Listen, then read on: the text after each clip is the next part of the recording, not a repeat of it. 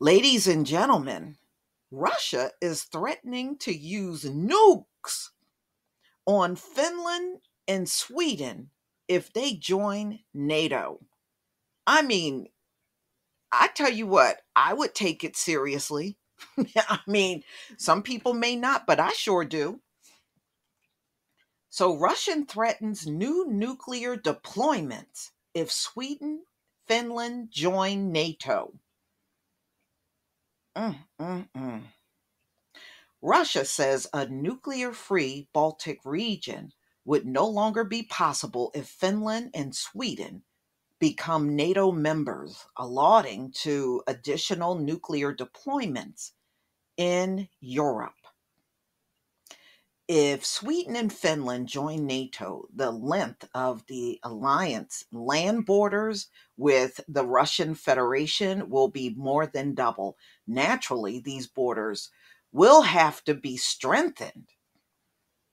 Dmitry Medvedev, the former president and deputy chairman of Russia's Security Council, wrote on his official Telegram channel Thursday. Russia will have to seriously strengthen the grouping of land forces and air defense, deployment significant naval forces in the waters of the Gulf of Finland.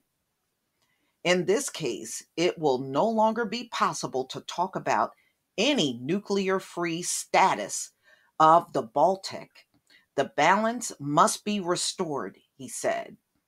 The comments come a day after Finland and Sweden said their decision on whether to apply for NATO membership will come within a matter of weeks.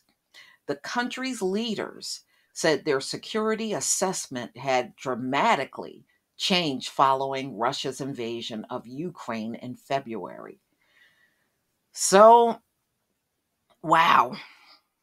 Now, you know, um, Putin has beefed up his nuclear war team. You know, he has a team specialized just for nukes over there in Russia. And he built up that. In fact, around the time he went into Ukraine, that was out in the news that he had started, you know, increasing his nuclear war team. Uh uh uh. So the Baltics are the northeastern European countries Lithuania, Latvia, Estonia are members of the EU and NATO. Sweden and Finland are members of the EU but not NATO. And the latter shares an 830 mile border with Russia. If Finland and Sweden did join NATO, this would give Moscow more officially registered opponents. Medvedev, this is what he added.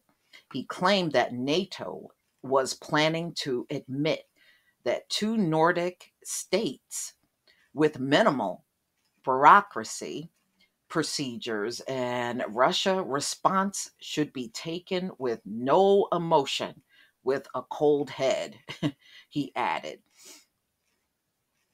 Moscow sees neighboring Finland potential inclusion in NATO as a threat to its national security, as the U.S. could deploy advanced military equipment in Finland if it joins the alliance. Lithuania, which borders the Russian exclave. And so um, when he was questioned about Lithuanian, uh, you know, Medvedev just pretty much brushed it off in the comments. It's nothing new. Lithuanian's prime minister said the country's defense minister added that Russia already has nuclear weapons in the Baltic region. The current Russian threats look quite strange when we know that even without the, the present security situation, they keep the weapons 100 kilometers from Lithu- uh, Lithuanian's border. Okay, nuclear weapons have always, you know, I, I guess that's been a deterrence against all of those Eastern Baltic nations where, you know, they had to pretty much watch what they did because of Russia. So I don't know, you know, but it just it looks like Sweden and Finland they're moving forward with this thing, and Russia seems to be threatening them like almost on a regular basis now about joining. Nuclear weapons have always been kept in Kaliningrad, uh, uh, international community. The countries in the regions are perfectly aware of this. They use it as a threat, he added. Yeah, because it sure seems like it, because they've been threatening non-stop since, you know, it all came out about them um, joining NATO. All right. Moscow's invasion of Ukraine has triggered a U turn for uh, Finland, public opinion on becoming a member of the 30 country military alliance, which it has refrained from joining since World War II in a bid to maintain, they wanted to remain neutral. That's what they're saying. Moscow has in its past warned of severe consequences and instability in the Nordics if Finland were to join. If Finland joined the alliance, Sweden would likely follow suit. Finland and Sweden, as well as Ukraine, are already embraced opportunity partners of NATO the closest form of partnership with the alliance partake in military exercises with NATO states. So I don't know, y'all. I do think something may actually jump off. You know, I think something may jump off. And I mean, it, seems like ever since the announcement came out about Finland and Sweden joining within weeks, Russia has gone non-stop with these threats on those two countries. And if you look at a map, Sweden and Finland are right next to uh, Russia, right next to it. Not as big as Russia, of course, but they are definitely bordering on Russia. And wow, this is I mean, eh, just from the invasion and now Russia really putting their foot down about these two countries joining. And, you know, Ukraine, they're still not a member of NATO at all. And, you know, um, Russia also threatened them, even during the war, that they better not join.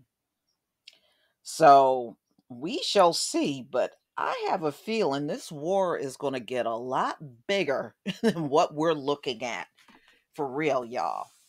If this happens, if this immediate attack they are claiming they're going to put on these two nations if they join NATO, and now they are talking using nukes and de- the deployment of nukes around these countries if they join. And he you heard what he said. They're going to put the Air Force, the Navy, and ground troops, eh, you know, everything and they said nukes are not off the table. I mean, this is this is crazy. Man, I think if I didn't live to see this, I wouldn't believe it. But y'all, please tell me what you think about Russia's most recent threat of possible nuke deployment if these countries use go forward and they um, take that opportunity to join NATO. So weeks, I don't know. It could be May. It could even possibly be June. You know, but we shall see. I'm definitely going to keep up with this. Please leave your comment and subscribe don't forget to hit on the notification bell, and I'll see you on the next video. Peace, family.